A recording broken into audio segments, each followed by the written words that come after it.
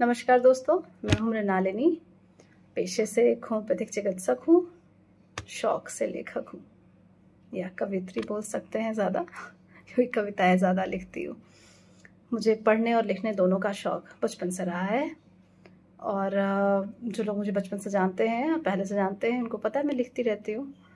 और मैंने एक दो यूट्यूब चैनल और चला रखे हैं, एक है medicine got easy with doctor Mrinalini, वो मेरे पढ़ाने के शौक का नतीजा है, पढ़ाने का शौक रखती थी तो इस बढ़िया क्या तरीका आजकल यूट्यूब चैनल स्टार्ट किया। तो कुछ टॉपिक्स कवर किए प्रॉपर पढ़ाने की तरह से। फिर uh, कुछ health related topics start I started sharing फिर एक शौक और जो रखा था लिखने का कविताएँ लिखने और सुनाने का उसको शुरू किया है।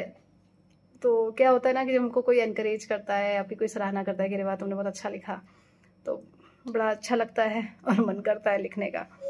तो मेरे साथ भी ऐसा हुआ जब अप्रिसिएशन मिल रही थी, मैंने काफ़ी लिखा। मैंने शुरुआती में इलेवन ट्वेल्थ क्लास में जब मैं पढ़ती थी, तब मैंने काफ़ी लिखा। तब मेरे टीचर्स लोग, मेरे फ्रेंड्स बहुत अप्रिशिएट करते थे। फिर कॉलेज में गई तो कॉलेज में भी ऐसे ही अप्रिसिएशन मिला। But after that I got married थोड़ा सा यू नो इनिशियल ईयर्स के हेजिटेशन होते हैं, वो होता है। लिखती थी but you know not everybody is same and not everybody is interested to फिर क्या हुआ कि थोड़ा लिखना कम हो गया। Then I became a mother and you know being a mother is a full time job मम्मा होना अपने आप में भी समझ में आता है कि भाई मेरी मम्मी अभी भी काम कर रही है। Because if I feel sick कुछ होता है ऑलवेज माई मदर मम्मी, बेटा ठीक हो? मैं कर देती हूँ। मम्मी के पास जाओ। मतलब मम्मी, सर दुख है। रहने तो रहने दो। मैं कर दूँगी सबका। नो तो मैं कभी छुट्टी नहीं पाती।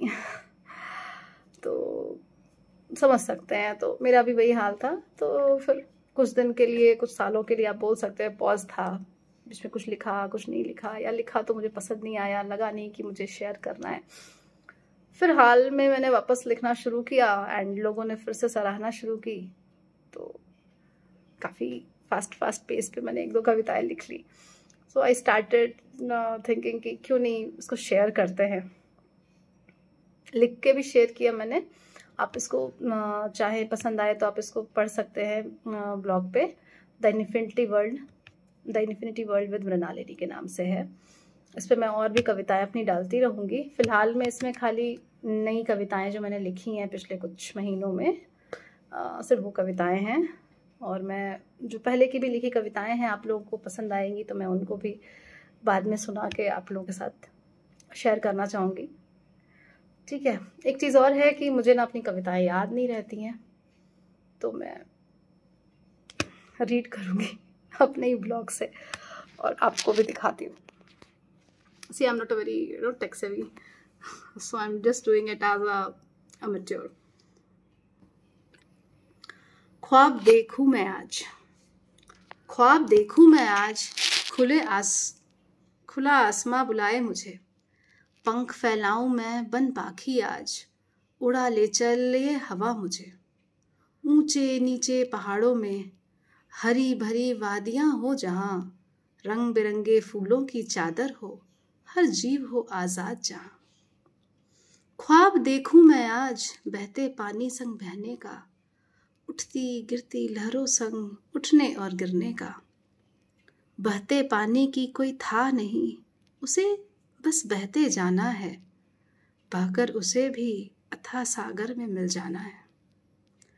ख्वाब देखूँ मैं आज, खुशबू बन हर ओर बिखरने का, फूलों संग प्रभु चरण में चढ़ने का, हवा संग आज़ाद बहने का। कभी फलों में रम जाऊँ, कभी वृक्षों की शाखाओं में, कभी बारिश की बूंदों संग मिट्टी में अष्ट दिशाओं में वितरित होने का। ख्वाब देखूँ मैं आज, एक मुस्कान भर, एक मुस्कान बन हर मुख पर सजने का, मायूस चेहरे, चेहरों को भी खिलते देखने का। उम्मीद बन हर मन को आनंद से भरने का, दर्द भरी इस दुनिया में कुछ क्षण मुस्कान के देने का। ख्वाब देखूँ मैं आज, उस ऊंचाई को छूने का जहाँ अंबर भी हो जमी से नाथा भी हो। आत्मविश्वास हो, पर अहंकार न हो। चरित्र का मूल विनम्रता हो, विकारों से मुक्त, कृतज्ञता और ज्ञान से ही मेरी पहचान हो। तो कैसी लगी ये कविता, मुझे प्लीज़ कमेंट बॉक्स में ज़रूर लिख के बताइएगा, ताकि मैं और भी कविताएँ आगे आपके साथ साझा कर सकूँ। नमस्कार।